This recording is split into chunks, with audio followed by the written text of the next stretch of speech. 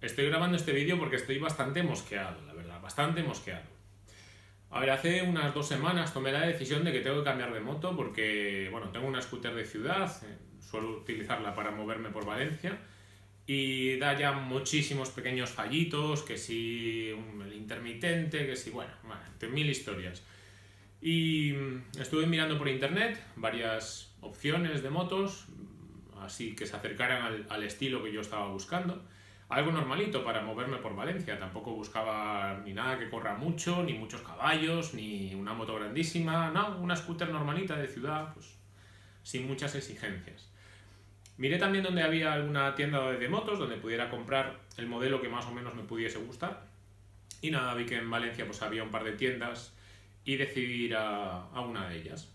Y bueno, entro por la puerta, había una fila de motos a un lado, otra fila de motos a otro lado y enseguida el vendedor se me acerca y me saluda, me pregunta en qué me puede ayudar y yo le digo, pues bueno, quiero cambiar de moto, que tengo una moto ya bastante vieja y que quiero cambiarla.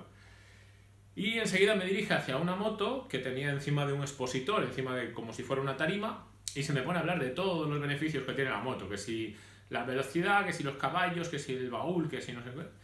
Y cuando ya llevamos un ratito hablando, digo, no, mira, te voy a interrumpir porque que no es lo que estoy buscando porque mm, quiero una moto que tenga el, el, piso plano, el suelo plano, ¿vale? Lo que es el espacio entre el, entre el asiento y el manillar de la moto, pues quiero que sea plano porque es un espacio que yo suelo utilizar para dejar ahí un maletín. Y muchas motos, muchas scooters, pues tienen esa parte elevada, en la que me estaba enseñando no tenían suelo plano.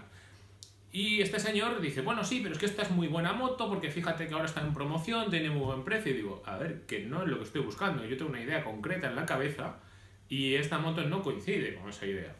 Pero tienes que ver que tiene muy buen precio, tiene ABS, eh, ahora parece ser que les obligan a las scooters a llevar ABS, no sé qué, se me pone a hablar de, de lo bueno que es el ABS, digo, es que no, estoy, no es lo que estoy buscando.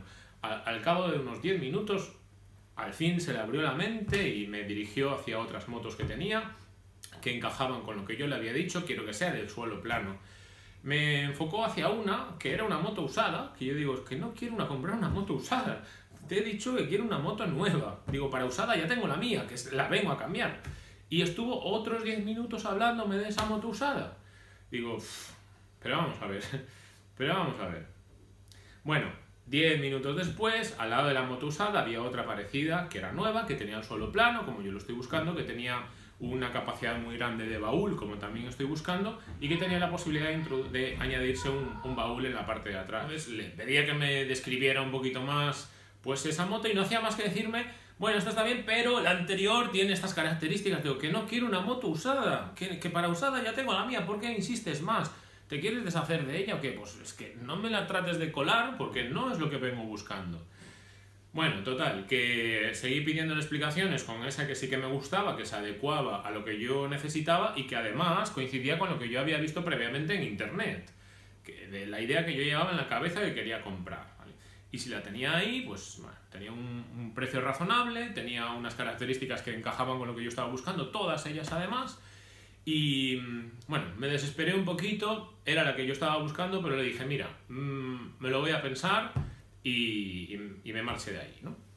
Bueno, ayer eh, tomé la decisión de decir, pues, eh, mira, la voy a comprar, la última que yo vi, eh, aunque parecía que él no la quisiera vender, no sé por qué, porque no hacía más que enseñarme cosas que, que no coincidían con lo que yo estaba buscando, pero mira, que la moto me gusta, es lo que estaba buscando y le voy a, la voy a comprar. Voy allí y le digo pues, la quiero. Pero claro, voy con la idea de negociarlo un poco el precio, porque me dio a entender el día anterior pues que había cierto margen de negociación, ¿no? Total, que llego, le digo, bueno, nada, vengo a ver de nuevo la moto porque, bueno, he estado ya viendo algunas, tengo ya la decisión más o menos tomada y quería ver en qué precio se me puede quedar. Nos acercamos de nuevo a la moto, pero acercándonos a la moto pasa de nuevo por junto a la que me había enseñado el día anterior y se me vuelve a, la primera, me refiero. Y me vuelve a explicar los beneficios de, esa otra moto que no tenía el suelo plano, que no tenía baúl, pero digo, pero, pero vamos a ver, pero vamos a ver, pero qué parte no has entendido que busco una moto de suelo plano, porque te he dicho, te he dicho que necesito poner ahí un maletín. Digo, en, en esa moto que me estás enseñando de nuevo, alma cándida, que no me cabe el maletín. Bueno, total, que le insisto para ver la otra, de camino a la otra, me vuelve a hablar de la usada que tenía ahí, que digo que estoy harto ya de que me enseñen la moto usada.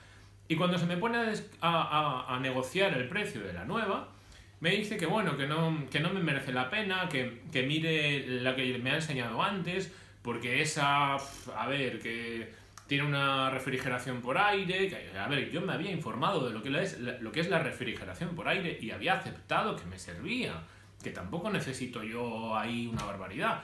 Me dice, es que, joder, si te vas a llevar esta, es una lástima, porque esta no, no pasa de los 100, y digo, pero a ver, yo no te dije ya dos días que la moto la quiero solo para ciudad, solo para ciudad, te lo dije un montón de veces.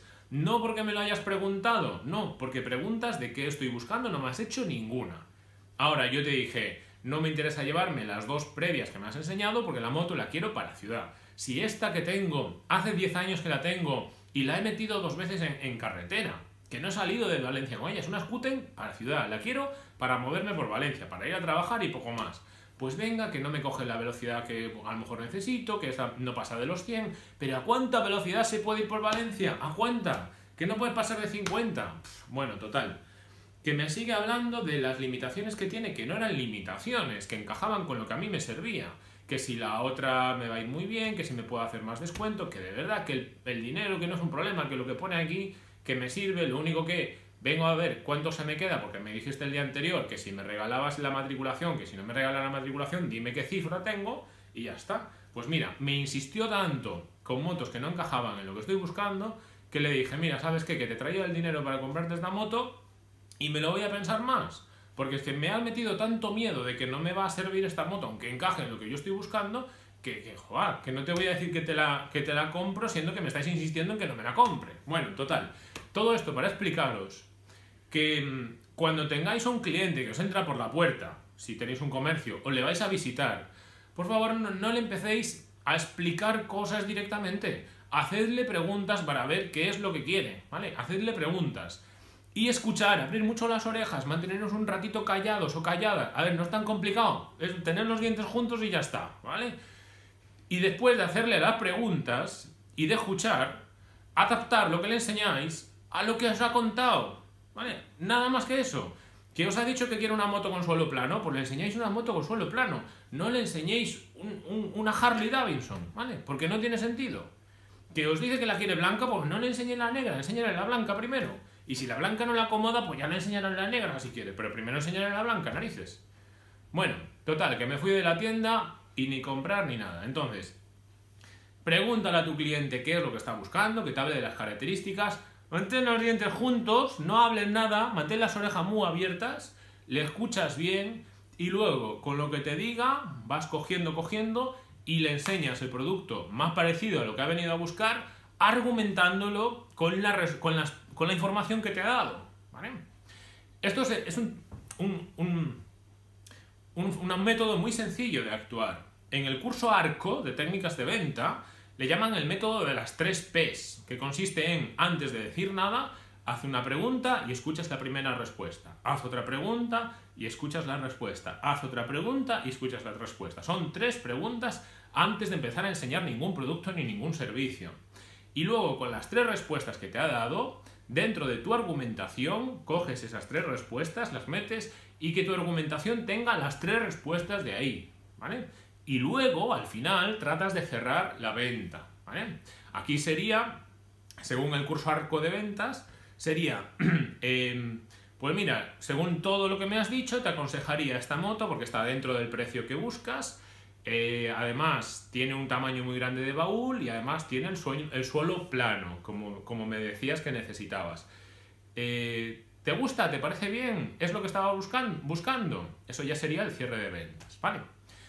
Bueno, pues nada más. Disculpad que me euforice así, pero es que estoy súper cabreado y todavía no tengo moto. Todavía tengo que volver al punto de arranque, ponerme a buscar de nuevo, a ver si encuentro, primero, un modelo que me guste y segundo, alguien que me la quiera vender. Alguien que me la quiera vender.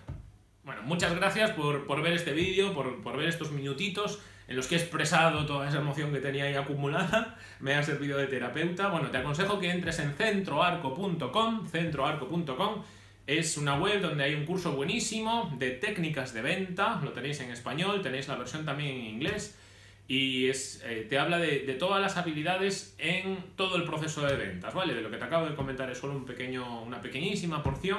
En centroarco.com tienes todo el resto de descripción que te puede ayudar a ser mejor vendedor, mejor vendedora. Si crees que este vídeo le puede interesar a alguien más, aquí abajo tienes un botón de compartir, te agradezco muchísimo que lo pulses y otro de suscribirte por si quieres ver algún vídeo mío en un futuro. Venga, un abrazo y hasta el próximo vídeo.